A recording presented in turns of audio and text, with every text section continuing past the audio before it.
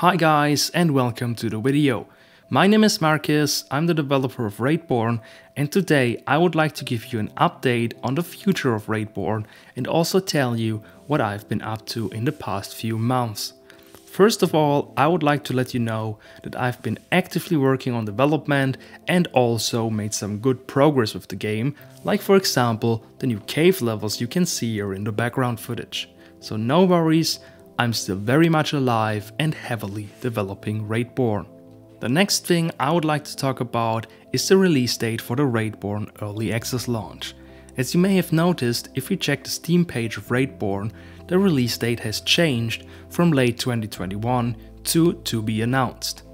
Back when I initially set this date, it was pretty clear to me that I would change it in the future.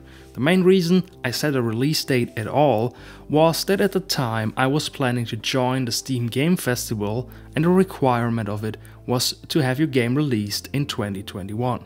So for the moment I set it to to be announced because I just want to take the time it needs to implement your feedback from the alpha playtest and to ultimately get the game in a solid state and I just don't want to make myself too much fuss about when Raidborn will be ready and stable for the early access release.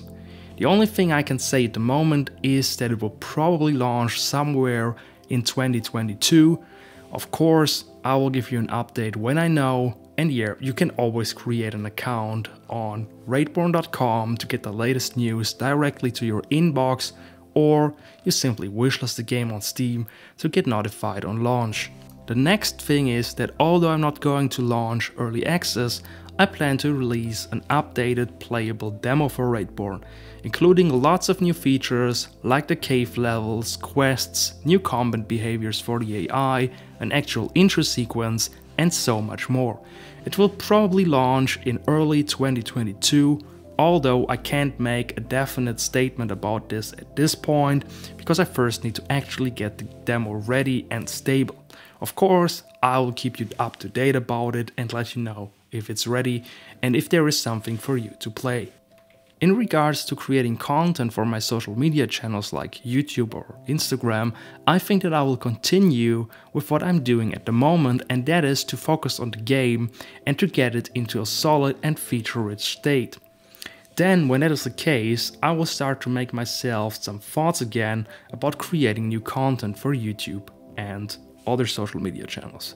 But generally speaking, through my experience with previous releases and also with Raidborn, I just learned that it's really tough to spread the word about something.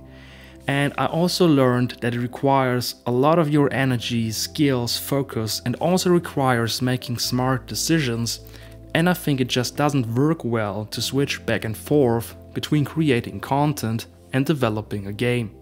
And really, my goal is to not only create a cool game, but to create content and features around it people can enjoy.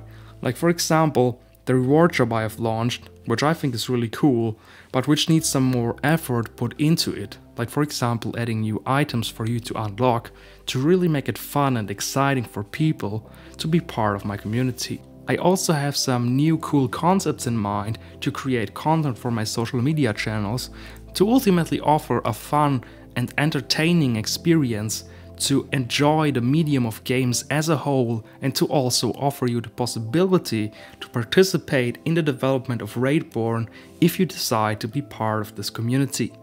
This also means that I would like to expand my topic a little bit beyond making devlogs like I have done in the past with my devlog, uh, what am I talking about, my game dev answer series of course. But all that takes time, planning and energy and that's why I will continue going down the path of doing one thing at a time. So yeah, that's it for the video. I really hope you enjoyed watching. If you have any questions about the project, make sure to put it in the comments down below. And as always, stay cool and see you next time.